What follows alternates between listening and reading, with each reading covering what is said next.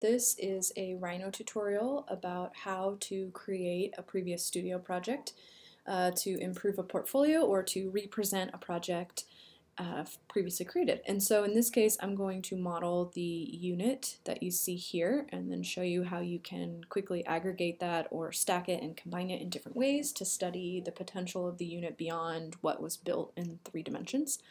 Uh, so the first thing I'm going to do is I have my Rhino set up so that I have the perspective view and the top view uh, visible. Um, you can make them larger or bigger by clicking and dragging on the little gray line in between the actual viewports. I prefer to use the top and perspective views when I'm drafting. Uh, and what I'm going to do is think about uh, how to make the individual pieces for this unit. And so in this case, this unit was made up of four pieces of wood that came together to make a tube, and then that tube was repeated uh, two other times to create a unit of three wood tubes. Uh, and so I'm going to first by, start by drawing kind of one of these pieces of wood. Notice that the corners of the wood were mitered together, and I'm going to capture that in my model so I can explain the project in a little bit more detail. So um, I'm going to start by uh, first just drawing in the plan top view kind of a piece of the wood that is just that rectangular shape. And so my wood was six inches long, so I'm going to type, I'm going to select the polyline and then click and type six, enter, and then click and then type 0.5 because the wood was half an inch thick, and click, type, move my mouse to the left, click, type six, click, and then click the point again to complete that rectangle. Um, I want to include the miters as I mentioned, and so I'm going to click polyline and draw a line just straight down by clicking uh, and hitting space to complete the command, and then I'm going to rotate that line by 45 degrees to uh, create that 45 degree miter. So if I select the line and type R, enter, I select the point at the top, select the point at the bottom, and then notice as I move my mouse it kind of starts to suggest a circle, and I'm going to type in 45 and then click to complete. Um, another way of doing that, so if you have another line on this side, uh, would be to select the line um, and use what's called the gumball. So if you don't have gumball turned on, which is this uh, red and green and blue object that keeps appearing, if you if you type gumball, in this case it's on for me, so I'm not going to do anything, but you can hit O enter, or then click on. And what that does is it brings up the gumball. Um, so I'm going to select the line and then click this uh, little blue arc and type in 45 and notice that it now rotated that by 45 degrees. I'm going to undo if I want to rotate the other way. I select the line and then click that and type minus 45. And so now I have a line that's 45 degrees. It's not touching my rectangle, however, so I'm just going to select it, hit M, and then click the point and snap to that point. Um, if you don't have snaps turned on, you want to make sure you, you set those. Uh, I think it's good to have like point, midpoint, center, intersection, and perpendicular on. Um, so now what I want to do is I want to trim this. So if I type uh, TR, select all of the objects and hit space, and now I can just click anything I want to go away or anything I want to subtract. And so I'm hit space again to complete. And now notice I have a um, piece of wood that has uh, 45 degree miters in two dimensions. Um, I, these are all individual lines right now, and I want to combine them into one polyline. So if I select all of them and type join, enter, now I have four curves that are combined into one closed curve. Um, the next thing I want to do is make this 3D. So right now it's just the 2D profile of this piece of wood. And so I'm going to select the curve in plan uh, and then click over uh, into perspective is easier. So select the curve and type extrude and then move my mouse in the vertical direction. And I know that each of these tubes were 18 inches, so I'm going to type in 1, 8 and enter. Um, the next thing I'm going to do is then copy this. So I'm going to select it and type C, uh, and uh, select it in plan and type CO, and move, kind of click and move my mouse down. I'm just trying to copy it, and I'll put it in the right spot in a second. Um, so now what I'm going to do is I'm going to select it and then click that blue uh, curve and type 90 to rotate it. So now I have kind of this piece that's perpendicular. I'm going to move it then and snap it to um, the corner of the other piece itself. And so now what I have is uh, two of the planes for uh, this tube um, modeled. The next thing I'm going to do is I'm going to select one and I'm just going to mirror it, so MI, over this other piece of wood. So if I click kind of the center point or midpoint of that um, piece and move my mouse down and click, it mirrors that piece. And then I can also mirror this one since the, the wood is symmetrical, MI, click, and move my mouse uh, to the right, and now it's mirrored that piece. And so now what I have, if I look in 3D, are four pieces of wood that make up one of these tubes. They're all separate pieces. Um, what you could do at this point is select them all and Boolean union them together, and that would join them together kind of in a permanent way. I'm going to make an exploded axon in a minute, so I'm just going to select them and type group to create one group um, uh, that I can move and select and click on kind of all together. Um, so group. The next thing I want to do is I now want to copy and paste them to together to kind of have this arrangement that I see uh, here. So I'm going to copy one, select it, CO. I'm going to copy from this point and then to this point, and then the same thing I'm going to copy again from this point to that point. Now I know that there's a 6 inch offset in my unit, so I'm going to select this back one, click the blue arrow for the click 6. And then now I've got kind of these three tubes that are um, not joined or grouped, but three individual tubes. Uh, I want to be able to move them globally like this, so I'm just going to select them all and type group again. And so now I have a unit that is uh, one of these made pretty easily that shows the layers of construction. Um, and I can copy this whole unit by selecting it and typing CO. Um, I can rotate this by selecting it and typing rotate or clicking the gumball and rotating it based around different axes. Um, and so I can quickly study different aggregations and different orientations of this unit that maybe I couldn't do or study as easily when building them. Um, I have a couple of examples of those to show you. So one of them is what happens if you stack them in a vertical way. Notice that I have lots of these aggregated, so you could keep growing this horizontally or vertically. And then this one looks at studying, okay, what if I flip them on the side and I have this very different kind of reading of the negative space through the tubes, a lot of depth in this one. Um, so say you study several different versions of that, maybe there's some that have more, some that have less, and you arrive at one that you think is kind of the best, I think then exporting some nice views is the next step in this. So um, you want to kind of get your view um, centered nicely on the page.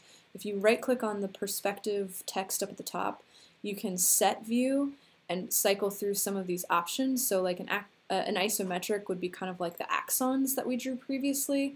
Um, I'm going to turn off my other options just so that we're only looking at um, one. So if I have other things turned on in the file when I, when I change things to uh, isometric or perspective, it, it will kind of zoom around trying to capture everything. So if I just want to look at my final iteration, I'll do the same thing. So zoom back in, set view, and then you can go to isometric and it'll show you kind of think back to the axons isometric views that you did of the cubes in the first semester. So maybe I like perspective best. Let's say I get kind of a nice view that captures everything kind of with some good white space and this is the view that I want to export. Um, the next thing to look through is just to cycle through some of the um, display options. So each of these here is a different like default Rhino display. I've edited mine, so if you click pen, it might look a little different than my pen setting. Uh, if you click artistic, it might look a little bit different than my artistic setting. Um, but the the uh, trick is to set these to like look how you want them to, depending on the project, depending on the scale of what you're editing. Uh, so we're going to export a couple different options um, and then combine them in Photoshop. But first, let's, if you type options, Uh, it brings up just all these different Rhino preferences. Display modes is what uh, allows you to edit these um, different settings. So like under artistic, for example, um, you know, there's all these different options. I, I always have the background set to a solid color. It defaults to an image file, which is this weird paper texture, which is not preferable. Um, so solid color, click it and then select, in this case I'm using white because I like the white background. Um, I've turned my ground plane off. If you want that on, it, it'll cast some shadows for you. Um, there's a couple other settings here that you might tweak or play around with. Um, it'll show you live time, if your computer's fast enough, kind of what it looks like to have certain things on and off. So you can do, you know, versions where you have um, lines turned on, lines turned off. Um, I, I, I think this looks pretty nice where you have a little bit of line work, but you have kind of a ghosted sort of shading as well. Um, you can also edit um, the line work itself. So in some cases, Rhino defaults to have like curves and lines uh, based on the color of the layer um, or object. And so I always set, use a single color, and so I'll set these to be kind of grays or blacks depending on what I'm doing. So you might go in and edit some of that. Um, you can also play around with shadows and shading as well. And so this, the, all of these settings pertain just to this artistic view, and there's several others in here that you can tweak and edit as you need. Just know that when you edit any of them, it's editing it globally in the file itself. Um, so artistic view is a good one. Um, a couple others, you know, that are nice. Sometimes doing a rendered view is nice because then you can layer in some of the shadows. Again, you might tweak some of the settings if yours doesn't come out quite as nice right away. So now is the time to explore these different options um, and start to kind of manipulate them to get good drawings out of the file. It's, it's sometimes it's nice to be able to quickly export a view to talk about a design with a client or with a professor or a classmate or colleague, uh, and you don't want to spend a lot of time making the most beautifully rendered thing initially because you just need good looking drawings to communicate uh, ideas or to be able to sketch on top of by hand. Um, so in any case, I'm going to um, export some of these views and then combine them in Photoshop. So uh, the first thing you want to do is type uh, view capture to file, and that's going to take whatever view you have on your screen and export it uh, as a file for you. And so some of these settings are important. Um, I have all of these unchecked. Uh, the transparent background is kind of nice if you're exporting. This basically makes a PNG, and so it's nice if you wanted to put things behind this. You could easily put things kind of behind the negative space and communicate lots of depth. So if you imagine like collaging this into a photograph or somewhere else, it could be something to explore with. In this case, I don't really mind because I'm I just want the white background for now. Um, under resolution, this is where you have to have to set uh, something nice. So I click custom I click lock aspect, aspect ratio, and so what that's going to do is it's going to make sure that the width and the length stay the same no matter what paper size I set. Over here I set this to inches, and then I set my DPI to 300, and then I'm um, going to export this on 8, uh, 11 by 17 is the page size I want it to be on finally, and so I'm just, maybe I'll, I'll do 11, um, and I can scale that up and set it in Photoshop later, but I'm going to do 11 by, this is changing. Notice as I type in different dimensions, this automatically changes for me. So I could set the 8.5 size and it'll change kind of the length accordingly, or if I set the width, it'll change um, the height accordingly. So um, these are the settings. I hit apply, and now it's asking me for somewhere to save it. So I'm to, uh, you can name it um, export uh, artistic. Uh, and then it'll save kind of wherever you're telling it. So I would get organized. I have like a folder for SAID, a folder for the year, a folder for skills, lectures, Rhino Units Demo. I think maybe yours might look like the year and communication skills. Uh, and then set JPEG, and then uh, hit save. And then it'll think about it for a second and export. Um, then without moving or zooming the view, if you go down and you set pen uh, or one of the other toggles, you type view capture to file, same thing, go through these. It, if, I think it's smart enough now that it holds, it used to default back to the standard setting, but it's it should come up the same. Hit apply, tell you, tell it where you want it to say, name it, and export a series of those views. Um, and then what you can do is open those views, and I'll show you this in a second, and combine them nicely in Photoshop to have kind of this nice layered drawing. Um, sometimes you can get by with just exporting one of them to sketch on top of. So like this artistic view, right? If you were to trying to talk about a design idea with a professor or a client, you could export this and show a lot about your project, and it looks pretty nice as well. So you don't always have to combine things in Photoshop. Um, let me show you one more thing that you might choose to do to explain your uh, project, and then we'll jump over to Photoshop. Um, so sometimes it's nice to show kind of an exploded version of your project, right? What uh, an exploded axon. Um, and so I'm going to click, right click, hit set view, isometric northeast. And so that gets you into that isometric axon view. So to create this, um, I'll walk through the steps. So let's say you have your um, unit, individual unit uh, that you've made previously. Um, let's see, go this way. Um, and so with this unit, um, if you select it and type ungroup, it'll ungroup the, the grouped unit into the individual tubes. And the way that I'll do kind of uh, these axons a lot of times is I'll copy um, the pieces um, in the in like a right view kind of up vertically so you can see in the parallel view how things are moving I just want to double check set view isometric northeast, just make sure it's still set that way. Um, I'm going to hide this for now. So select it and type hide if you care about hiding.